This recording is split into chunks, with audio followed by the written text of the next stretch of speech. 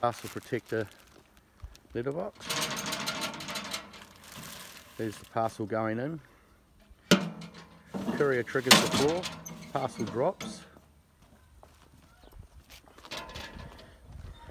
Around the back. Retrieves. You can see the locking bars, stainless steel, one going up, one going down. Locks the door and the box is secured. Show the trap floor, how it works. Once the floor is in, you can't get through. When he pulls the floor out, the top hatch doesn't open.